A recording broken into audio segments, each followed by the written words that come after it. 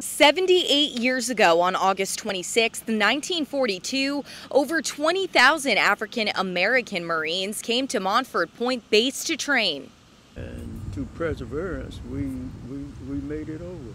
One of those Marines is John L. Spencer. The Hyde County native says he always wanted to be a Marine, but it wasn't easy. They told me that I couldn't be a Marine. But Spencer knew he would be in the Corps one day.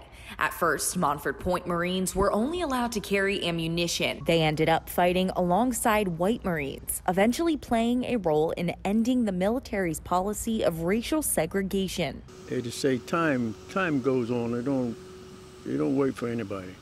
And uh, being like it was, it had to either go forward or go backward.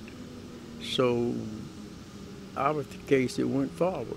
Spencer says he's ecstatic to be able to share their story to this day and wants to remind people we are one. Nine on Your Side will have more on the legacy left by the Montford Point Marines coming this November. That will be a part of our Veterans Voices special. For now, you can head to WNCT.com's online originals for a sneak peek. In Jacksonville, I'm Kayla Schmidt, 9 on Your Side.